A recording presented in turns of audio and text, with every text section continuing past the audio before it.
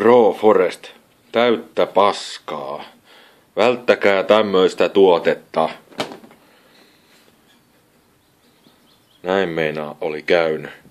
Tää oli, oli tota vajaan päivän mulla paikallaan. Ja se oli itsekseen räjähtänyt sisukumi paskaksi. Ja, ja nyt tuota, olisi tämmönen Duro, Duro-rengas menossa paikalle Hondaan. Ajatelkaa nyt tämmöiseen iso ulkokumi. Siihen lyödään tota tämmönen saakeli muoviseoksella terästetty pieni sisukumi. Oikein kokoinen numeroiden perusteella, mutta täyttä paskaa. Tässä on aito haimaalainen duro. Tuota, ja itse vielä halvempikin rengasliikkeestä. Mun täytyy kyllä käydä siellä keskisellä nyt antamassa palautetta tämmöisestä paskasta tuotteesta. Sitten tässä kanssa on yksi sadan euron paska. Toimi Windows 8 mulla ihan ok, ok.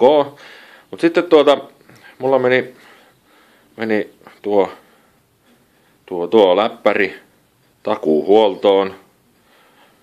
Sinne tuli vikaa vaihteeksi, niin ne asensi 8.1. No, mä en oo saanut tätä toimiin 8.1.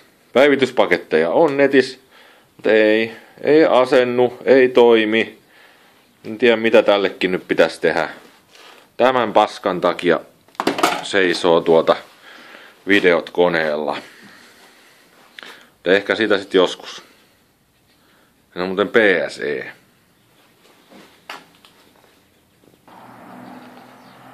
Ja Nastolaan terveisiä. Ei meinaa naakat rieku mun ilmanvaihtohormeissa.